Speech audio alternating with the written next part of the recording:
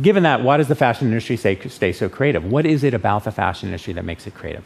I think there's a couple of things to draw out of, and those things have implications for other industries. They all revert back to the same basic idea, which is that fashion is a cyclical industry. Things go into fashion, they come out of fashion. Now, some of us don't really follow fashion, we don't really pay attention to it, our clothes are the same clothes, we wear our clothes out. But that's a small group of us. There's a middle group that maybe doesn't wear their clothes out, but sooner or later turns them over. and then there are people who treat clothing as disposable and buy it. And again, this is where um, our hometown favorite, Forever 21, comes into play. Um, their clothes are cheap, and so you can buy them, wear them a few times, and get rid of them. And a lot of people do that. So there's a range of ways to think about clothing, a range of ways that we relate to clothing.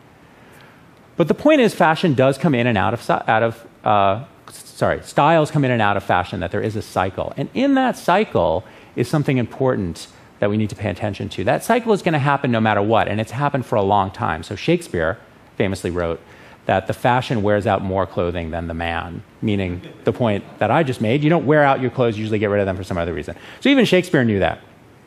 And you can find older examples of quotes like that. But the ability to copy, the freedom to copy, actually makes that fashion cycle turn faster. Now, why is that?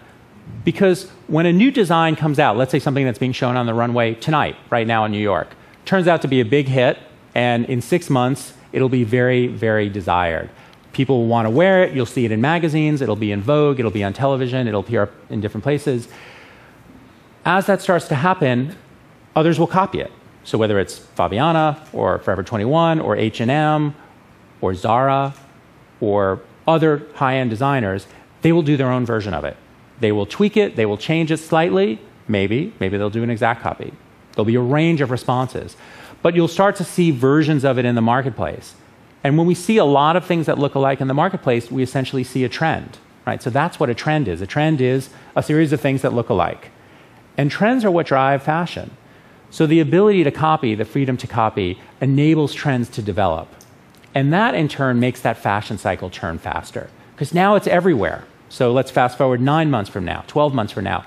Suddenly everybody has seen that dress or that particular shape boot or whatever it might be.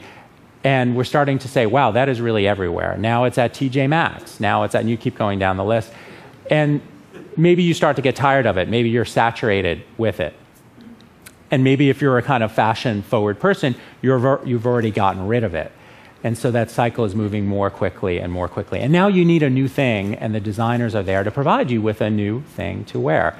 So the fashion cycle is an eternal feature, but the freedom to copy is what makes it turn quickly. So, in a sense, it induces another round of creativity by designers, forces them to give us